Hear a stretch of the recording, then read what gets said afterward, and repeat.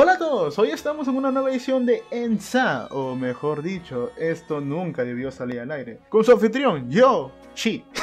Y nuestro invitado no tan especial porque aparece seguido en este canal, pero en esta ocasión está para ayudarme con mi tarea de instituto, la gran vaca cósmica. Dime vaca, ¿cómo estás? Muy, muy bien.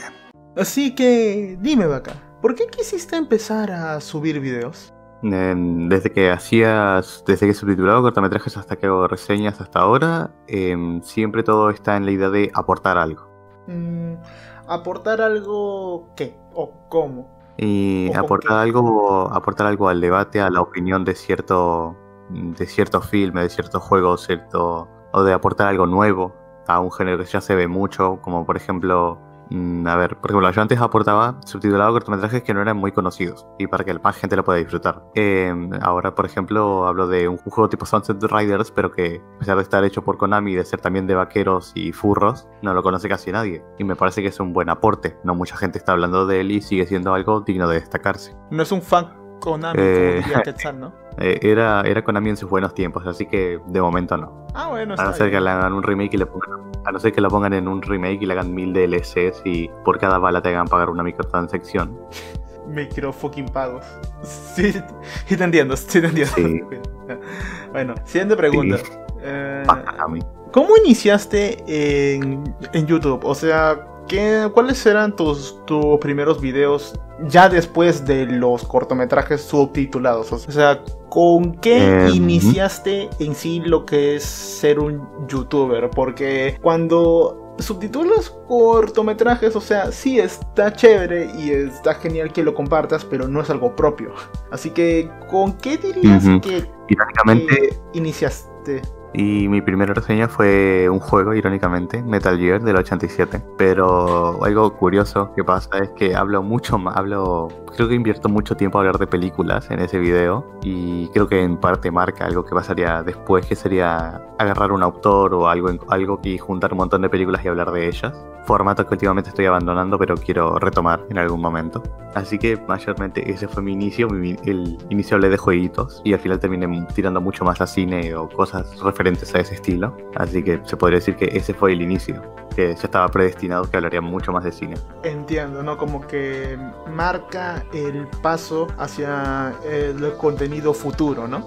Sí, sí, es como una especie de prototipo. Mm, Creo que, por ejemplo, muchos de los videos que hice antes no me, no me enorgullecen específicamente. Por ejemplo, el de Cats.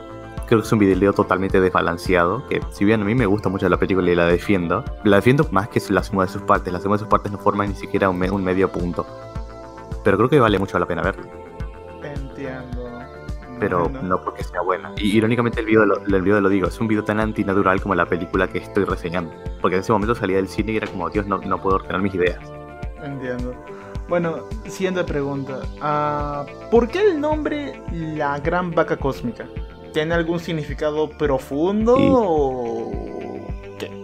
Y de hecho es muy irónico porque al principio solamente era por un chiste interno de un chiste de hogar nomás.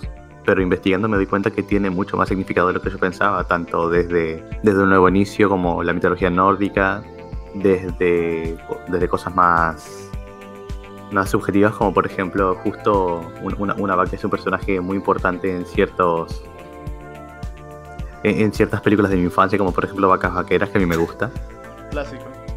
Sí. o por ejemplo, exacto. O, o, por ejemplo, que justamente la vaca aparece en muchas películas que a mí me gustan. Es, mm, incluso películas argentinas que no tienen nada que ver. Justo una película que me marcó en su momento tiene una vaca. Y justamente habla con el protagonista. Y o sea, que es muy raro porque parece como que hay... De hecho, irónicamente, el juego de las vacas, de los furros de Konami, son vacas. Según, según, según la trama, son vacas. Y justamente, eh, mira, el nombre de la vaca cósmica. Se incubaba hace rato. Me haces acordar eh, los últimos episodios de Los Padrinos Mágicos, pero del original, ¿ve? Antes de Nickelodeon y, y esas cosas. Los, los, prim- Sí. los últimos episodios de Cazadores de Canales, hay una parte en la cual, bueno, cuando están sal- salteando el canal y se meten en parodias, me hiciste, me hiciste acordar a una parte donde dice las vacas ninja que es una parodia, las tortugas ninjas, y justamente aparece una Sí, o sea, vaca. me da mucha gracia como... Sí, una, una vaca ninja, sí. Es que me da mucha gracia porque yo como que primero era un chiste, pero si me pongo en retrospectiva hay muchos detalles Sí, a lo largo de toda mi vida, un montón de, de- que hay vacas en muchas, se muchos lados. y luego estás tomando leche de manera involuntaria. Aunque no deberíamos tomar leche porque no es sano, pero bueno, ya que. Así que bueno. Eh, Pero eso nos lleva al comercial que vendrá ahora, cierto. patrocinado por Monstruos Gigantes. Yo llevo la presidente. Y bueno, sigamos con la entrevista. Dime, ¿con qué tema te sientes más cómodo al hacer videos? Mm, me- definitivamente me siento más cómodo hablando de cine, sin duda alguna. ¿Y por qué? ¿Qué tiene eso que hace que te sientas cómodo? Eh, básicamente llevo casi toda mi vida viendo películas, mayormente, por, por ejemplo, en, cerca de donde vivía antes, había, había- en una esquina vendían películas a un precio ridículo, obviamente piratas, y cada semana me compraban tres porque estaban ridículamente baratos. Y por eso cada semana tenía tres películas nuevas para ver. Y de ahí fui escalando. De ahí más cosas, más cosas, fui creciendo, cosas más diferentes. Bueno, cosas diferentes, mejor dicho. Y después cuando descubrí internet fui probando un poco de todo y hasta ahora estoy acá. Así que de hecho por eso más vi, según, por eso, según mi lista vi más de 1500 películas a lo largo de toda mi vida. Así que creo que no es poca cosa. Se podría decir que ya desarrollaste un buen gusto, ¿no? Eh, no, no lo diría demasiado que se diga. Eh, diría que desarrollé un gusto propio. Ah, está bien, está bien. O sea, igualmente, no, igualmente creo que por ejemplo puedo distinguir, yo puedo, yo, yo puedo defender Cats, pero porque me parece que es una obra que aporta mucho, pero no porque sea buena.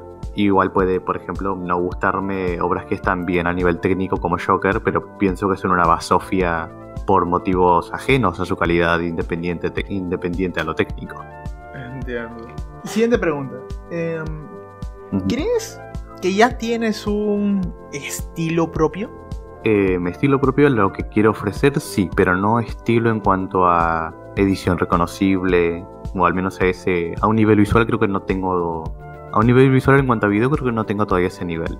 A un nivel de mi personalidad creo que tampoco porque si alguien habla conmigo en privado durante más de 5 minutos sabe que soy muy diferente a cómo me presento en los videos.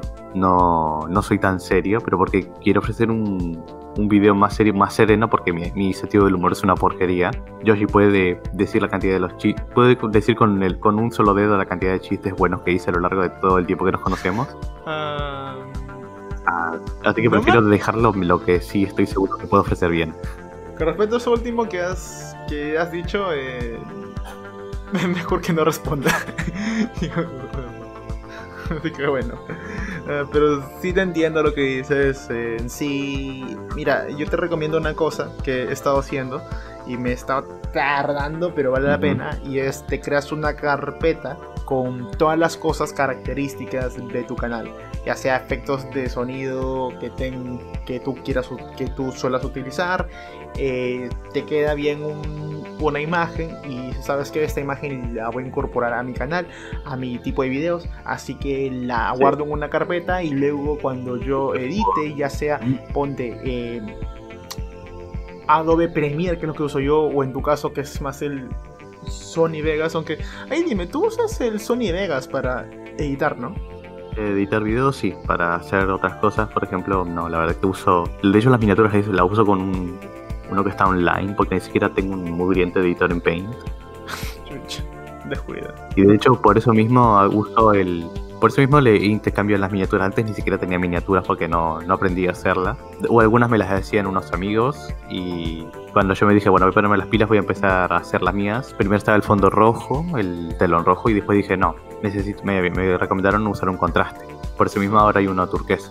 Y de hecho el turquesa también tiene que ver con un color que representa un recuerdo mío hace mucho. O sea, como te decía, diciendo, el estilo es algo que se va creando con el tiempo. Es algo que llega solo, solamente tienes que esperar, tienes que cagarla un montón de ocasiones, tienes que cagarla mucho, tienes Sí. que tropezarte, a Sí. ti tienes que hacerte mucha popó en los pantalones y bueno, dices, oye, esto me sirve, Qué buen es- ejemplo. ¿eh? Esto no me sirve. Sí, en serio, o sea, no me sirve esto, pero sí me sirve lo otro. Y así, de una y otra vez, y ya se te forma solo, ¿no? Es eso más que nada. Sí. Yo en mi caso, yo fui directo y dije, oye, ¿sabes qué? Mi canal es una mierda, así que a reiniciar, punto. y ya, bueno, ¿qué se puede? Review, sí. Yoshi vs. The World Review. Ya, ya sí. Entonces... Crisis, crisis en Yoshi Infinito. bueno, ya, sigamos con la siguiente pregunta. ¿Cuál crees tú que es tu mejor video? O sea, ¿cuál crees que es el mejor video de tu canal hasta la fecha? Sin contar eh, los que estás editando. Y la verdad que no sabría decir bien cuál sería el mejor, pero creo que la que con la que estoy satisfecho de momento, pero porque siento que evoluciona a buenos pasos, es la reseña de Kryptonita, que se trata de una película argentina donde se reinterpreta a los personajes de DC. Algo que me gusta de esa reseña, aparte de que creo que me quedó muy bien en cuanto a guion y apartado visual, ejemplos y tal, es que mucha gente se mucha gente se quedó con ganas de ver la película. Aunque yo digo que es una mala película, logro darle la curiosidad a las personas para que la vean. Y eso personalmente se me hace un logro enorme. O si tuviera que hablar así de, de otro tipo que no sean reseñas, uno que estoy muy orgulloso es el desperdicio narrativo del anime Yaoi. Porque básicamente fueron dos videos de yo quejándome, pero igual dejando lo que aporta el Yaoi, pero porque básicamente los errores y las lecciones que se pueden aprender de ellos. Y además porque me vi más de 40 animes, además de que me vi 40 más de 40 animes para poder hacer esos dos videos, así que y costaron muchísimo. Se pueden dar una idea. Sí, te entiendo. O sea, hay veces, me haces acordar una vez hace tiempo, hace ya bastante tiempo, que hay un juego que se llama Lego Marvel Vengadores. Es una mierda. Es una mierda tan grande que lo único bueno, según yo, de ese videojuego es que tiene buena música y tiene buenos gráficos que están bien optimizados. Lo demás es una mierda. Así de simple, lo demás es una mierda. Y yo recuerdo que hice un Sí. par de videos No, de hecho, es que por ejemplo, ¿sí? un par de videos llenos de mierda con argumentos. Y recuerdo que era básicamente decir todas las cosas malas que tiene ese videojuego. Y aparte de las cosas malas que tiene este videojuego, también era, era que mientras que editaba ese video, mientras que lo edi- editaba, encontraba nuevos errores. Dios santo, un clásico. No, es que por ejemplo mucha gente habla mal de él. Por ejemplo, yo el video del, del yo lo hice básicamente porque mucha gente sí vi quejándose del Phantom, vi quejándose del género. Pero nadie, nadie le decía... na- nadie miraba tanto los animes viejos Yaoi que se hacían. Nadie miraba lo- los, puntos, los puntos excelentes que tiene el Yaoi. Que solo tiene uno y que lo usaban mal, pero lo tenían. El, el mal uso que le hacían las historias, el mal uso de sus personajes.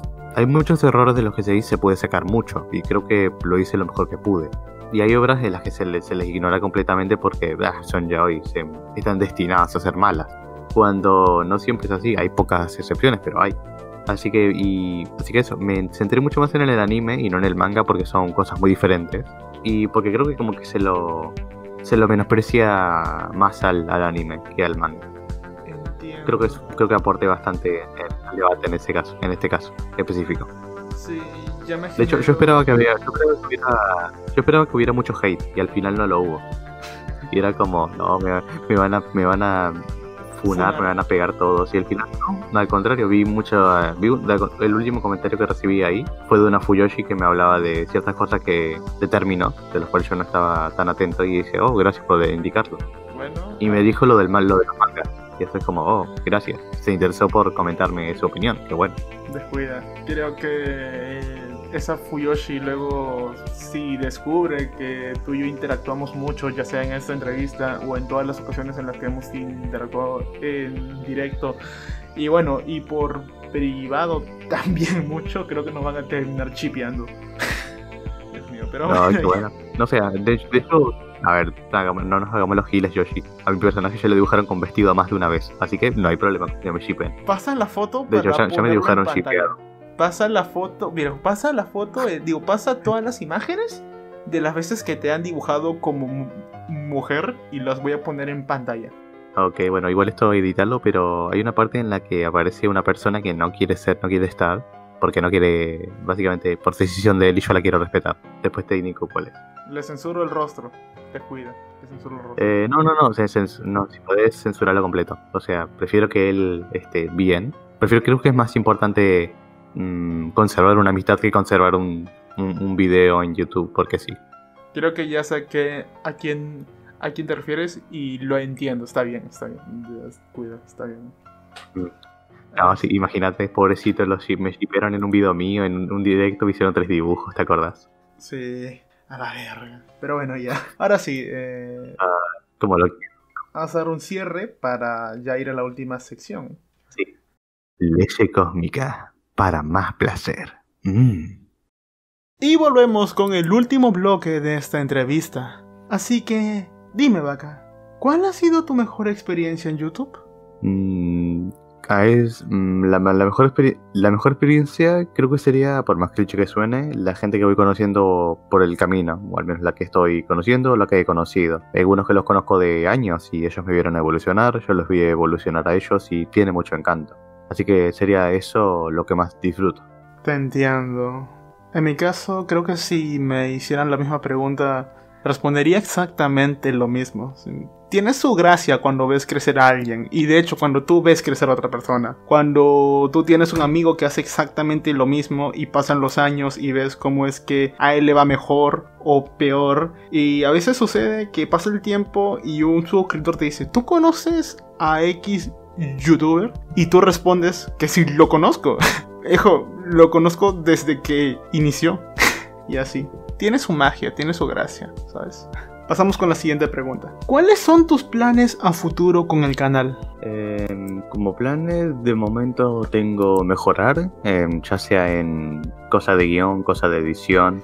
Y quiero, cuando ya llegue a un punto en el que creo que puedo ofrecer algo de calidad superior a lo que tengo ahora, me gustaría sí poder ganar una ganancia monetaria con esto para poder mejorar ya sea mi computadora o cosas referentes al canal me gustaría ser muy, soy transparente con muchas cosas, así que no creo que no sería transparente. Yo sería transparente con, por ejemplo, oh, gasté este dinero por tal cosa, para tal cosa, con este motivo. O si tengo que comprar comida, yo voy a decir, bueno, gasté tal dinero para comprarme un kilo de arroz o algo del estilo. Como que yo avisaría siempre que anda eso, para darle seguridad a la gente.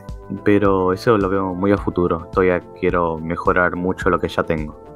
Te entiendo. Yo haría lo mismo.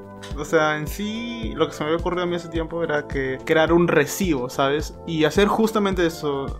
De una vez al mes eh, mostrar una imagen en Photoshop o lo que sea o un blog de notas con todos los gastos que has tenido de los objetos que has ido comprando con el dinero de canal. Así que comprendo perfectamente lo que me estás diciendo. Es como una especie de como que si convirtieras tu Twitter en una en un recibo de una lista de compras, ¿no? Ah, y también agregaría el hecho de quiero hacer más cortometrajes a futuro o al menos una película, tal vez también podría ser, pero como en ellos yo recién estoy practicando y de hecho mis dos cortometrajes tienen bastantes errores de amateur, quiero eso ir mejorándolo mucho más antes de que alguien me dé dinero para hacerlo. Quiero practicar lo más posible antes de, de eso. No quiero darle a la gente que del dinero porquería. Entiendo. ¿Sabes? Una idea que se me ocurre para, para tu caso cuando hagas cortometrajes sería que simplemente tú vas haciendo un, no sé, storyboard, lo publicas en tu cuenta o inclusive podría ser una cuenta de Patreon y dices eh, ustedes elijan cuáles eh, ponte tú propones tres storyboards y dices eh, ustedes elijan qué cortometraje hago sabes y no sé habría más reciprocidad y de esta manera podría decirse que sí, tus seguidores te financian tus cortometrajes. Y de paso, em, los pones en tu currículum para trabajos futuros. Ok, estaría, estaría interesante. Tendríamos que hablar en privado eso más a profundidad. Bueno, más que nada sería hablar en privado con tus subs en tu grupo de Discord, pero bueno. Bueno, sí, se entiende. No, no digo para que, para saber cómo más o menos sería que expandas la idea, pero ok, bueno, no hay problema. Sí, sería eso, o sea, tú me has comentado antes que ya tienes storyboards en tu cuaderno. Así que bueno, simplemente sería tomarle foto y ya. Ok, ok. Bueno, ¿esto lo cortamos o lo vas a agregar? Lo voy a agregar. Vamos Ya, con la última pregunta. Hola. Y por último, vamos con la última pregunta. Y es, dime vaca, ¿por qué no muestras tu rostro ni tu nombre real? Mm, básicamente no siento la necesi- no siento la necesidad de hacerlo. Mm, De, mi rostro no tengo la confianza en mí mismo para hacerlo y tampoco tengo una buena cámara, no tengo nada de ese estilo. Así que sí, para hacer, eh, para hacer las cosas mal, preferiblemente no hacerlas. No lo niego en algún futuro hacerlo, pero no lo veo cercano. Y mi nombre real básicamente porque creo que eso es mío y que si quiero iniciar algo nuevo tiene que tener su propio nombre, ¿no? Pues sí, pero no. Sea, yo entiendo esto, que hay muchos youtubers que no se sienten con la confianza suficiente. O sea, va desde algo tan simple como que no quiero involucrar mi vida personal con el canal, lo cual no me parece algo coherente porque en un canal tú resaltas cosas que te gustan a ti, así que lo lamento, pero eso es tu vida personal. Y ya lo del rostro sería No, un aspecto físico extra, ¿no? Eh, Sí, sí. sí, entonces... No, es que por ejemplo, si alguien, o sea, no sé, si digo el nombre de una marca, yo no digo el nombre del dueño de la marca, digo el nombre del, del, del dueño, no de la marca, ¿no? No del dueño. Sí, te entiendo eso. Bueno, si lo abordamos por ese tema, O sea, sí. ujú. ahora me vas a dejar de, ahora me vas a decir, ay, pero mira el auto Ford y tiene el apellido Ford, ah, y, ah, maldición. He- you have a point. No, o sea, yo lo que te había diciendo antes es que van, van desde razones como que simplemente hay gente que no se siente cómoda con su imagen personal, gente que no quiere involucrar su vida personal con, con lo que hace en YouTube, lo cual es, como acabo de decir, es incoherente, no tiene lógica. Y bueno, razones hay varias. Pero yo quería hacerte una pregunta más específica. Y era que, con respecto a no mostrar ni tu nombre, ni tu cara, yo te pregunto, si tú cometieras algún crimen, porque vamos, con casos como los de Dallas Review y inserte nombre de cualquier youtuber que se haya metido en una polémica con algún usuario que también haga contenido. Yo pregunto, Mm. ¿qué pasaría si tú, por ejemplo, cometieras un crimen con una persona? ¿Tú ocultarías tu cara y tu nombre? Porque mira, toma en cuenta que para meterte a juicio, Es un, para... es un problema. Sí, No, no, es un problema terrible esto, lo de las redes, justamente por esto. Yo personalmente no lo hago por mis temas. Por que a mí, porque yo no deseo mostrarlo. O sea, es una red social. Puedo tener el derecho de hacerlo o no hacerlo. Pero justamente si pasa un crimen, mm, justamente es mucho más difícil donde agarrarlo. Creo que la ley no está tan metida justo en ese tipo de casos. Y por ello es más difícil de catalogar. Así que no podría dar un veredicto claro porque sí es un tema muy delicado. exacto. Por esa razón es que te, te lo preguntaban así, porque para denunciarte, si tú cometes una difamación o lo que sea, introduzca aquí lo que no le ha pasado a Dallas, ¿ya? lo que sea, ok, ya. Tú cometes un crimen, para, para que la otra persona Sí, te denuncie, necesitas saber tu nombre. Y mira, como mínimo, tiene que saber tu nombre. Otras cosas aparte sería cómo te ves físicamente para identificarte rápido, porque vamos, puede haber una persona que se llame curiosamente igual que tú de tu mismo país. Y también saber dónde vives y esas cosas. Y a lo que voy es que si tú cometieras algún crimen, tú, proporcion- tú proporcionarías no solamente tu rostro, sino tu nombre y otros datos para que te arresten. Y esto lo digo porque sí, en efecto, es una pregunta muy delicada y hasta muy personal y, y muy incómoda de responder. Por ende, y justamente por esa razón es que te lo pregunto. Comprendo el punto. Es que yo justamente por lo mismo es un tema delicado y creo que cualquier cosa que se, cualquier cosa que yo pueda decir ahora puede, puede llegar a torcerse porque sí es un tema que hay que tocarlo con muchas pinzas y con mucho cuidado. Por eso mismo creo que se tendría que revisar muy bien el, el caso y cómo actuar ante ello. Porque son muy específicos algunos. Son también difíciles de, de tomar yo con, el sistema que hay. Así que no podré decir mucho más. Sí, descuida, por cualquier cosa que digas en este momento van a decir una cosa completamente diferente. A mí me ha pasado, a nuestros amigos les ha pasado, así que sí, es cierto. Y de esta manera tan sublimemente incómoda terminamos esta entrevista. Ujú. Perdón, es que me, me- me gusta mucho incomodar gente. Ujú. Recuerden suscribirse al canal de Yoshi y a la gran paca cósmica. Oh, oh, oh, oh, oh, sí. Damos leche Sí, el Ubu es, lo el Ubu es muy importante. Sí, el Ubu, el, Ubu es como el, el Ubu es tan importante como la pelvis, el cráneo o respirar. Recuerden.